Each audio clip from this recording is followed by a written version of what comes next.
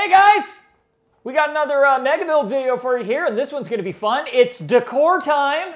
We don't have no 3D background in this one, so I'm gonna have to really try hard not to screw it up. All right, so first things first, I'm really glad that we have this canopy. Like I mentioned before, I can actually take all of these panels off by myself, and that is exactly what I'll be doing. I'm gonna slide this fixture back and uh, maybe I'll take these twisty ties off finally and slide this fixture forward. The other thing I'm gonna do, as soon as I'm done with this twist tie, is put a hat on so I don't have to do this whole thing with my hair in my face. Eh. Get out of my face, hair. Ha. So first thing I'm gonna stick in before we get started is substrate. I'm not planning to use any big heavy rocks or anything, so I'm not putting any kind of lattice down on the bottom of the tank to protect it. Uh, quite frankly, everything that's going in here is going to be relatively light by comparison to uh, other projects I've done. So let's start with substrate. I'm using uh, my all-time favorite. It is the CaribSea Sunset Gold Sand. Sand, Thomas, really sand? Don't you always say how sand is hard to take care of and stuff? Yeah, I know. I'm aware. This is not about, uh, you know, practicality necessarily so much as it is about trying to emulate the environment that I want to emulate. I also thought it might be really cool in this discus tank if I put like a really nice big group of, I don't know, Sterbai Cory catfish or something like that, and they like sand. And uh, yeah, when I look at pictures of a lot of blackwater tanks, uh, sand seems to be one of the things that really makes everything look awesome. So I'm just going for effect here. So I don't really need a whole lot of sand because I'm not planting in it or anything, at least I'm not planning to, especially because it's an inert substrate. Uh, but I do want to try to grade it a little bit. So I want more sand on that back side of the tank there, kind of with a taper down to what I'm going to call the front of where you're looking through the tank. Yeah, another bag. Here we go.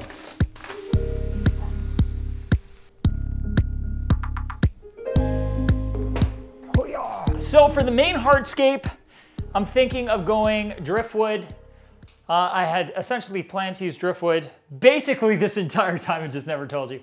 Um, so I have a ton of driftwood here. I made sure I got a really good selection sent over just so I could kind of play with it. So originally I thought I would go with Malaysian driftwood, but the big, large uh, XL pieces that I wanted to get my hands on were unavailable at the time, so I kind of had to rework um, my thought process, and I'm going with uh, the Underwater Treasures uh, style of driftwood. This is actually the Reptile Treasures version like I used on the 265.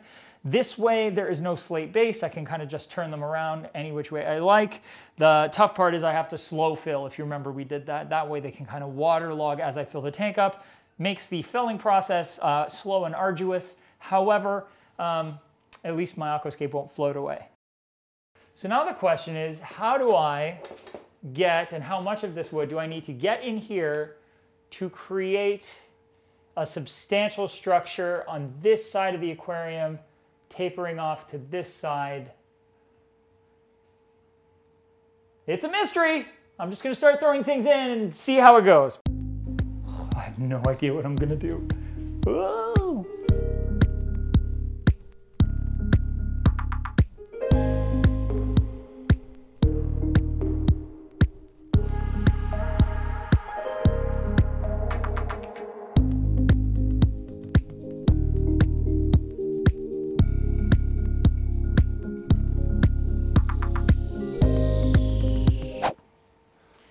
Hi, I didn't see you there.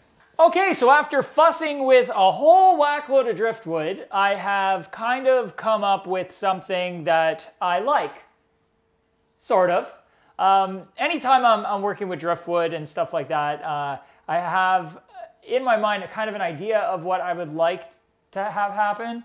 Uh, my original design for the tank was completely unattainable by the fact that I had to use a completely, completely different type of wood. So I've kind of had to reformulate what I think I'm gonna do with the tank and I am pretty happy with what I've got so far. So the hardscape so far consists of two structures made out of several pieces of driftwood. This is to uh, provide some cover for the discus and other fish in the tank, as well as give me kind of a surface for those uh, rhizome plants and mosses that I intend to put in this tank um, to kind of create that live planted jungly look.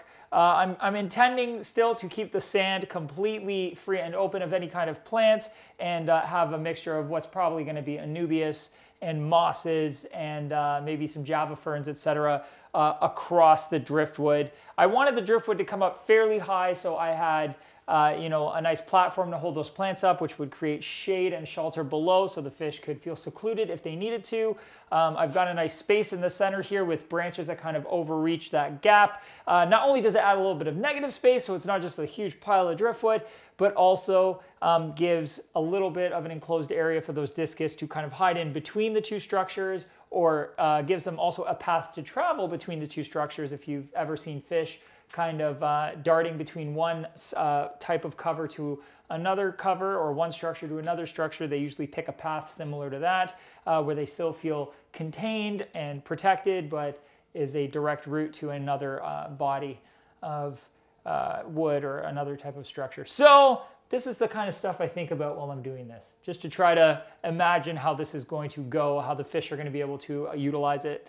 I think the next step now is to add some uh, river stones. They're smooth, kind of semi-polished uh, round rocks like you would expect to see it on a riverbed or next to a river. Um, I'm going to be kind of tucking those in and around the structures here just to add a certain je ne sais quoi.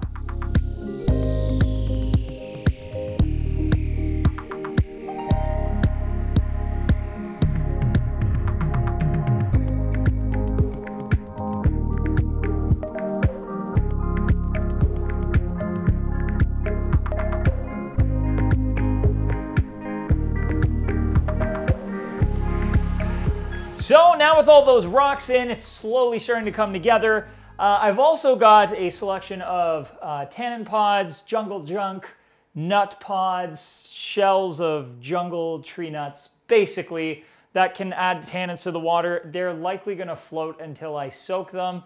So there's really no point in putting them in just now. I might throw them in there just so you can get a feel for it. I'm also gonna be throwing in some magnolia leaves um, and probably some alder cones and some other things just to you know, add to the bottom. There should be a leaf litter on the bottom, which is why I've got the magnolia leaves and some other things that maybe fell in to their habitat that colors the water that nice tea color.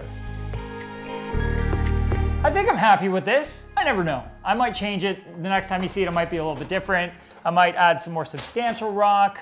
I might keep it this way. It's hard to visualize exactly how it's gonna turn out because once you get all the plants in there and all the leaf litter and all the rest of the jungle junk and stuff to create that blackwater environment, um, it, it's gonna change already so much from what we see here. So this is only a starting point, if you will. So uh, if you have any questions, drop those down in the comment section below. If you'd like to reach out to us on Facebook, we've got that too. Social media is a wonderful thing, or the worst thing, who knows?